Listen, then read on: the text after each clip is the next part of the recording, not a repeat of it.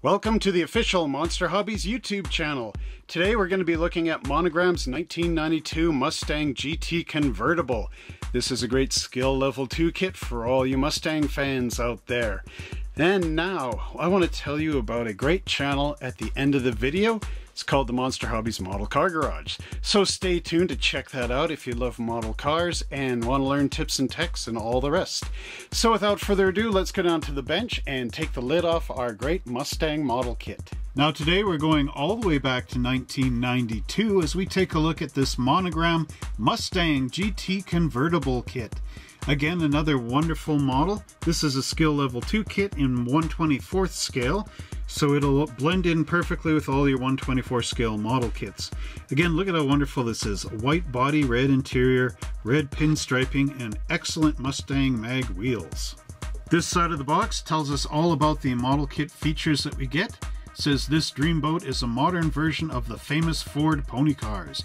Detailed 5.0 liter V8 engine with fuel injection, optional top up or down, and luggage rack. Decals for added detail, molded in white and clear with plated parts and black vinyl tires. There's a front three quarter view and a rear three quarter. I wonder if this is the 5.0 that uh, Vanilla Ice is talking about. Ice, ice, baby.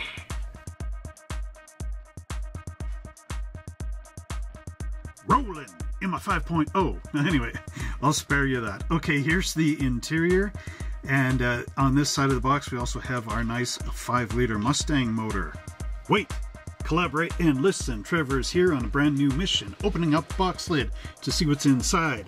And yeah, let's check out this ride. Ice, ice, baby. Okay, anyway, so there's there goes my music career. All right, now here we have our instruction sheet, which Danny the dog will take a look at in a minute. We've got these wonderful tires. This we'll have to clip off the parts tree and uh, clean them up in the future. Then we've got our white plastic here with the red taillights in the bag as well. We've got our glass down below and then our awesome chrome parts tree. And there's our decals, which again, Danny the dog will reveal at the end of this video. Oh, Trevor, you messed up your verse. Well, I guess it pays to rehearse. Okay, anyway, um, we'll just uh, move along here and stop singing that crazy uh, Ice Ice Baby song. And uh, what we got right here is our 1992 Mustang GT convertible instruction sheet. So we'll just do the overhead dub mic and I will uh, show you what's inside the model kit. Now Monogram has included a really nice instruction sheet. It's very uh, straightforward and easy to understand. You've got all the symbols that we're going to be using to build our model, as well as this nice paint chart with the uh, letters that correspond with the part numbers and whatnot. Now we've got our right and left hand side engine block with the oil pan molded in place. You glue on an oil filter. You've got your right and left exhaust headers, cylinder head, your rocker cover, your intake manifold, and the front engine cover. Our engine build continues in panel 2, where you put on the distributor cover, the oil filler cap, alternator, fan belt, pulley assembly, AC pump, and our fan. Then you drop that into the chassis, and then you attach up our exhaust manifold system. Now here we've got our front wheels going together. We got the front of the wheel, that's a chrome piece going through our tire, and then you've got this retaining clip that you do not glue so that your wheels will go around, and then the backing clip and that will all push together. This is the front left and right hand side tire. So now it's telling you to look for your directions on the rubber itself and then put that onto your front suspension and drop that onto the chassis. Now panel 7 shows our rear axle assembly being glued in place and then we also have these horizontal rear shock absorbers which will attach on there. And now here in panel 8 we've got our rear tires going on same as the, with the fronts. And again, watch your directional rubber on there. And that's your tread pattern, of course. And then you also add in these rear shock absorbers as well. Panel 9 shows our radiator assembly going together. You've got the radiator itself and the radiator shroud. Glue them together, drop them on the front of your chassis. Panel 10 shows the upper radiator hose being dropped on top of the engine and going into our radiator shroud. And then in panel 11 we've got our dashboard We've got our instrument cluster being glued on this side, and our steering wheel pops onto that steering column. Panel 12 shows our bucket seats going together. You've got the front and the back, glue them together. Make two of those and then move it across into your interior bucket. And there you've got your dashboard being dropped into place in these grooves. The shift lever goes into the center console. There's an armrest which also pops in and then you put your seats in there. Panel 14 shows our front windshield being dropped in place and our rear view mirror. There is this uh, brace in here which needs to be cut out. That was a factory brace to stop the body from warping in the mold. Panel 15 shows our interior tub being dropped into the uh, body shell and then you put in your brake master cylinder and that's in two halves and that drops inside your interior and then here we've got some decals which will go onto the top. We'll take a look at those at the end of the video. Panel 16 shows our completed chassis being put into the body of the car. And then in panel 17, we've got these little driving lights which glue into the rear bumper. Panel 18 shows the front of the car being glued on. And then you put in your headlights and you've got to paint these little side turn signals and whatnot before you actually install them. In panel 19, we get this two-piece air induction manifold. And you got the one part going onto the inner fender well and then the other goes on top of the engine block. Panel 20 shows our rear spoiler being dropped down and glued on the trunk lid. You also have these braces which go on there, and a brake light in the center, and then our funky taillight lenses and our license plate. These are all louvered lenses which are really popular in the 90s. Panel 21 shows our hood installation, and we have these nice decals which go up underneath here. Then you add in your side mirrors and your chrome mirror on there. Panel 22 shows the convertible top and it gets the rear window in the back. And on the back panel of our instructions, we get this wonderful write-up about the history of the 92 Mustang and how it evolved from the 64 to get up to this stage. There it shows our convertible up top being put on the body, and we've got these rear side tunnels which glue into place back here. Or you can build this with the convertible top down. And I'll let Trevor show you what the plastic parts look like right now. Thank you for that lead in, Danny. So here we have our Mustang body. And again, this looks really wonderful. You got that nice grill in there with the windshield wipers.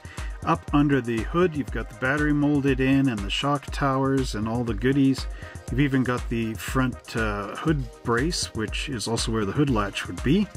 Again, look at the wonderful detail up on those door panels.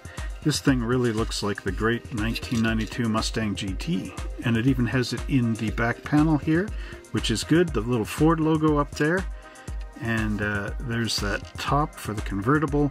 That's the brace there prevent the uh, front windshield from collapsing in the molding process. You also get the 5.0 logo right there. Hey, and the other thing is, I think the Monkees actually drove around in one of these uh, Mustangs in the revival concert years back in the late 80s and early 90s, but uh, that was then and this is now. Our first parts tree includes the front of the car, the front clip, the hood, the engine block right and left hand side, the cylinder head covers, our serpentine belt, and instrument panel and exhaust headers and the center console. Now there's a little notation that says this is molded in black, but of course we've got white plastic there. The engine block did fall off the side. It's got the starter motor molded in there, as well as the wonderful transmission, the 5-speed transmission. Uh, there's underneath the hood. Oh, you even get the pony molded in there. So that's really cool. Can you see that? There you go. Again, there's uh, some old marks back there, but that can easily be taken out. Oh, look on the back side, it says the number and it says white on there. So imagine must have uh, had a few of these come out in different colors over the years. But again, really excellent work by Monogram, the nice, clean, crisp type of molding. Our next parts tree includes the seat backs, all our wheel backs, and then we've got a couple of little detail parts here our interior bucket and those little side scoops, and our exhaust system. So bringing this up to the camera, again you can see the uh, molding in the side. Not too many of the door handles or whatever. There are some mold marks, but I do believe the seats will cover those. There's a nice little indentation for the seats to go in, as well as our center console. Floor pedals up front, and then the seat in the back, and then this is the area where the convertible top would fold down into on the real car. Again, really nicely done. You can see that Monogram is always faithful in bringing you the same easy to assemble level of quality that looks excellent. On this parts tree, we can see our chassis pan, the dashboard, our two-piece radiator, steering wheel, fan, and the seat back, or fronts actually, and our front suspension. So again, taking a look at this, wonderful work on the back there. Look at that. That's what we're going to see from up underneath the car. It's a unibody again with the subframes. There is a monogram mark on the back of the gas tank. You can always file that off. Then we've got our nice seats. Look at that upholstery pattern on there. Would you like to sit on these seats? If so, let us know in the comment section down below. Although these are tiny, I mean on the real Mustang. There's that dashboard. It's interesting that they didn't just mold that insert panel in there. But again, it does make it easier to paint it that way. There's our Mustang pony wheel. How many people owned one of these back in 1991? Let us know in the comment section down below. Or uh, if you wanted to own one, let us know that as well. Also, let us know how it was rolling in your 5.0. Word to your mother. Okay, so there's our convertible tops up and down. Look at that rear axle, a nice one-piece molding, and uh, you can just easily glue those wheels on the back. There's the little braces that go up along the trunk, so you got two long ones and one short one. Short one would go in the middle, of course. The rear parking lamp there, and our rear spoiler. And then the intake part for our uh, inside of the wheel arches. So there we go. Look at the nice ribs across there. Again, you've got those mold mark circles, so they'll have to be filled in this case because they are lower. But again, your number 16 hobby blade can remove a lot of that. Overall, again, a wonderful, simplistic, but highly detailed kit from Monogram. Here we've got our wonderful chrome parts tree with our Mustang mag wheels, the five spokes mag wheels, and then our intake and our cylinder valve covers, and uh, rear view mirror, alternator, and our license plate shroud. There's the front of the engine and that nice Mustang 5 liter fuel injected top. So there again, you can see the wonderful ponies on there. Excellent work. Monogram really does make a nice clean, clean crisp model. So take a break. Take a monogram break. Nice and crunchy. There it is. Excellent chrome again and wonderful.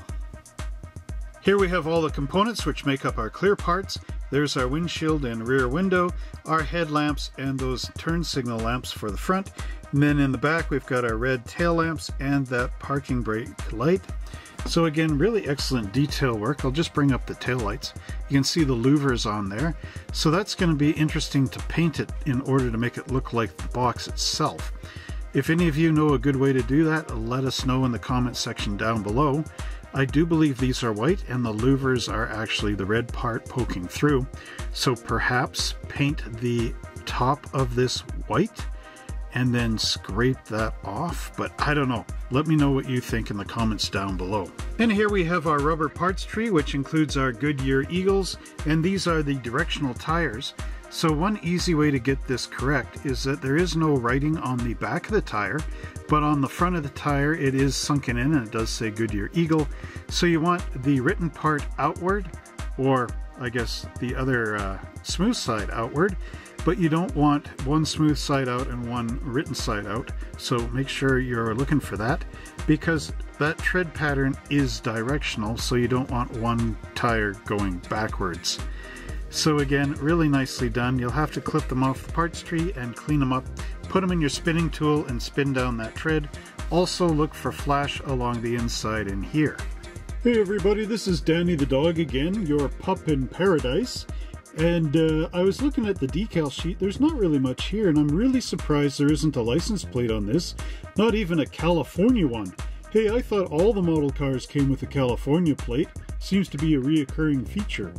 Anyway, what we have here is we've got all the underhood decals that go on, and uh, we also have this one.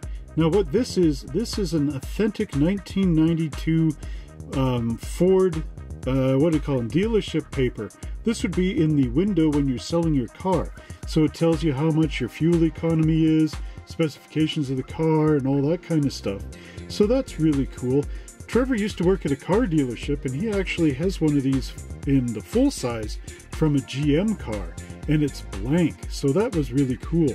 So maybe he can uh, do a video on how to scale that down one day. But if you want to make your own license plates, check out this video up here and uh, that'll take you and show you how to do it. Thank you for watching our video all the way to the end. We really appreciate that. And as a bonus for you, I'm going to now tell you about the Great Monster Hobbies Model Car Garage. Now on that channel, you can find unboxing videos like you've seen here, as well as tips and techs, and even some builds and some show and tell. Really cool stuff. So if you want to check out that, look at this video right here and it'll tell you all the joys about going onto that channel and checking it out, as well as click this link down here if you want to just get there and look for yourself, as well as subscribe. So until next time everyone, have fun with your model kit, and we'll see you in the next video.